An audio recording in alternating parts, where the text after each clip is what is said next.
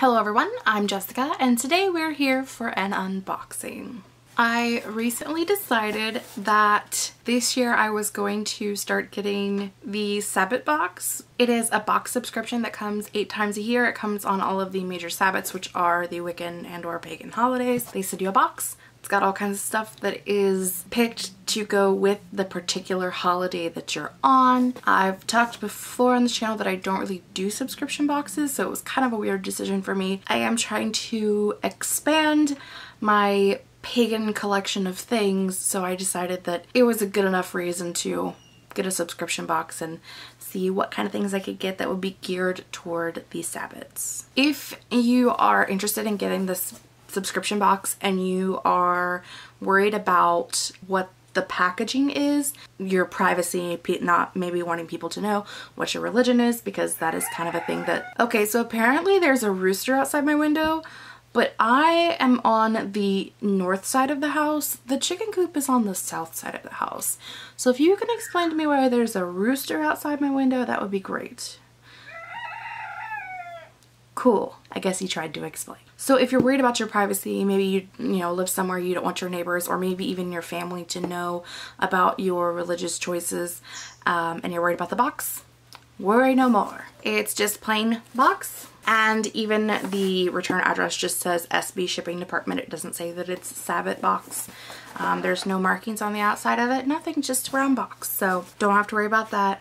Very private if you feel the need to be private. Most everyone in my life knows that I classify as pagan, Wiccan, witch, whatever terminology you choose to use. They're all accurate at different times because my religious views are very fluid. So let's open the box together, shall we?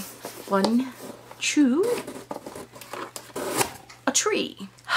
I can't, I can smell it. Like, you can smell the incense. Like, I know there's incense in here because I can smell it. Ta-da! It's green! Ta-da! So the first thing in there is this Blooming Prosperity card. And this card actually has all of the items in it. So everything that's in your box is on the card on the top. This card also goes through when Ostara is. It is March 20th this year.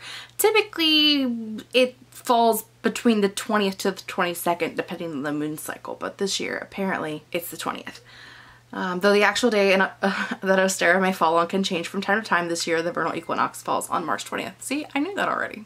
Look at that. Um, it also tells you who originally observed Ostara, which which basically it's a festival of spring and it's the spring equinox and history basically according to this and my own studies shows that um, the ancient Egyptians were some of the first people to celebrate Ostara and it has also been celebrated by Persians, Celts, Greeks, and Aztecs, which kind of knowledge around here.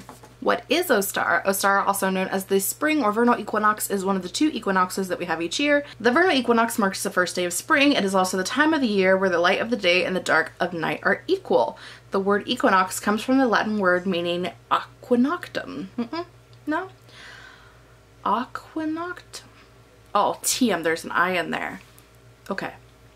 Anyway, meaning equal night. The word Ostara is derived from the Proto-Germanic word ostro, meaning to shine, or the word austere meaning to rise. We don't really know because because because no one knows. There's a bunch more writing on here but basically it just talks about how the spring equinox symbolizes the first day of spring and sorry the cat was attacking the box because I expected that to happen. For many pagans, Ostara and the spring equinox represent rebirth, growth, balance, and fertility. It marks a great time to work on prosperity magic in order to manifest your goals and bring them into fruition. And it's also good for spring cleaning and for resolutions and all of that fun stuff as well. And there's a bunch of small print on the back that I'm not going to read to you because we would be here for three years. Okay. Okay, so let's get to the actual products in the box now that we've talked for 20 minutes about the holiday itself. So the first thing is this cylindrical object, which I'm assuming is a candle. I've also kind of looked at the sheet, so it's a candle. This is like a beeswax candle and it's, you can look at it, you can almost kind of see here um, where it's got the holes in it. It's actually spiraled. It's like a flat sheet that is then spiraled. It's really cool. Pretty nifty. This is by Lelokens Awen and it is a success and prosperity candle. And we have an anointing oil. This is by Earth and Alchemy and it just says prosperity anointing oil. This mixture includes rose, patchouli, orange lavender oils, and a few more. And next we have this bag, which has a four-leaf clover, and on the back of it, it says luck. And if my stone memory serves me correctly, a giant hunk of pyrite, which is also known as fool's gold. So I'll double check. Dun, dun, it is pyrite, aka fool's gold. Pyrite is an iron mineral often used along with magic for workings pertaining to prosperity and finances, so it seemed only natural to include a beautiful specimen within each of your prosperity-centered sabbat boxes. A stone to add to my stone collection because yes, like a good pagan, I have a stone collection. There's something moving in there and I don't know if that's good or bad. This is a prosperity kit. It includes alfalfa, spearmint, and chamomile, green aventurine stone, and one ching coin. Basically, you make it like a sachet, you say a small blessing over the bag, and you wear it on your body or hang it in your home. Bag with herbs, ching coin, green aventurine. And I'm gonna put all this back in the box, so the cat doesn't eat it because cats are weird and they like herbs. Next is incense. These are from Wise Owl Incense. They are Blooming Prosperity, promotes and instills abundance and prosperity, awakening rebirth and balance, fertility, body or mind, blossoming and fruitful experiences and opportunities. Hopefully it's the mind kind and not the body kind. Actually smells really good. You saved this one for last because it's big and it's in a pretty bag. And it's actually pretty heavy. Okie dokie. It's also pretty broken. At one point in its life, this was a goddess statue for your altar, but it's, it's, it's broken. It has the broke. So I don't know if that's bad luck or not really sure. Um, so I will contact them and let them know that I had a broken item.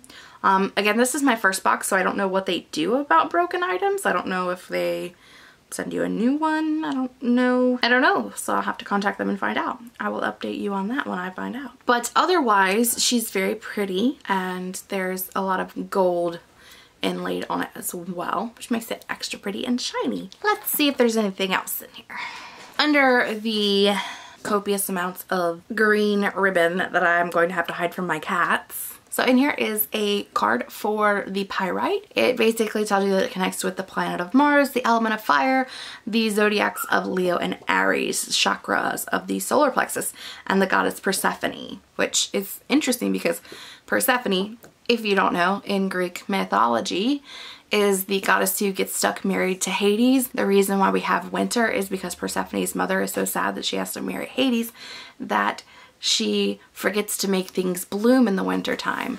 And then in the spring, Persephone gets to come back above from the underworld and stay with her mother and then she has to go back unto the underworld in the fall. That's why we have a cycle of life according to the ancient Greeks. So now you know. Um, but yeah, basically just tells you a bunch of things about the pyrite. And then there is another card in here and it gives you some information on prosperity magic. There's a correspondence guide that tells you different herbs that correspond with it and crystals that correspond with it. Um, it also has traditions, charms, and symbols, prosperity folklore, um, feathers, and, and all that fun stuff, and prosperity candle magic, lots and lots and lots of information. I feel like this would be a really good thing for someone who is just getting started into witchcraft because there's so much information in here. Stuff that, I mean, you can look on the internet, but it's also right here. And you also have all the tools that you need to do whatever you want to do from here. So That's pretty cool. So that was my unboxing of my Sabbat box. Let me know in the comments below if you liked this or you didn't, if you ever want to see another one or you don't. I don't know. I just wanted to do something different. I enjoyed my Blood Witch unboxing and I wanted to unbox something else. And this is the only box that I got. But I do have some Happy Planner stuff coming up, so I might unbox that too. Who knows? I'm crazy that's all I have for today. I post reading, writing, book, and whatever in the hell this is related videos uh, three times a week. If you haven't noticed, I have updated my uploading schedule to Mondays, Wednesdays, and either Saturday or Sunday. Always Monday and Wednesday, and then one day on the weekend, depending on what I have done at the time. And if it corresponds to a specific date, because a lot of times on the weekends it's going to be a live show, so it just kind of depends on what's going on in the real world. Anyway, I will talk to you guys later. Bye!